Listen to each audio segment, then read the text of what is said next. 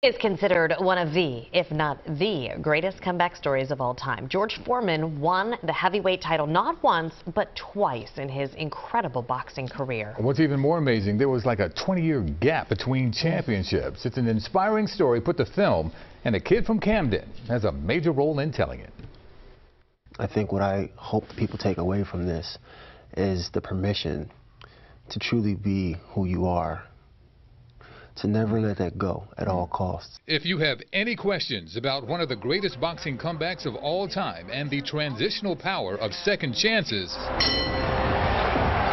all questions will be answered. Camden, New Jersey native Khris Davis in the red trunks plays heavyweight boxer George Foreman. Khris told me he studied how to box night and day. There's a lot that went into it. I mean, I could go on for hours mm-hmm. talking about the work that went into it. He's a solid 230 pounds, but capturing Foreman's body type in the later years took on, shall we say, a ton of work. During an eight-week break in production, Davis put on nearly 50 pounds under the supervision of a dietitian, taking in some 7,000 calories a day while working out.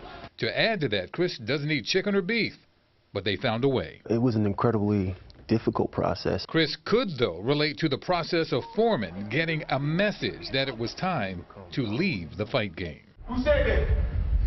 Nobody said nothing, George. George, George, George, George. Oh,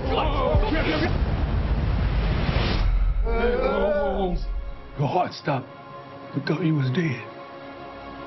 I was. Foreman dedicated his life to the Lord and turned to preaching Khris grew up in the church while being raised in Camden. His faith and family upbringing helped him achieve his goals from high school to Cheyney University to Broadway and now the big screen. I felt like I could give this role a certain authenticity yeah. that already resided within me. What also resides in him and hits harder than any punch George Foreman could have thrown is the fact that he knows he's a role model. His message, especially to inner city youth, is simple.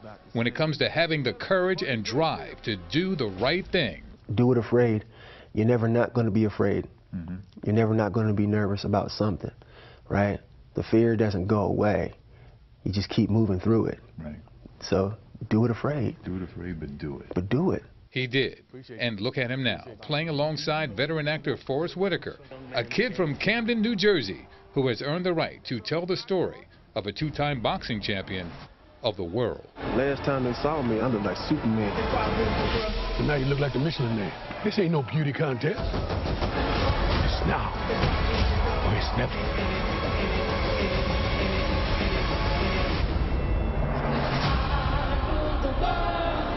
Ah, local Boy. guy makes good. Big George Foreman, the story of his life and career, including his famous grill, can't forget that, is in theaters right now. He told me of being around George Foreman, the man himself, the boxer, was just amazing. So cool. I love how that. you told that story, too. Oh, Very thank you. cool. Good man. Good luck yeah. to him Yeah. Can't wait to thank see you. it. Yeah.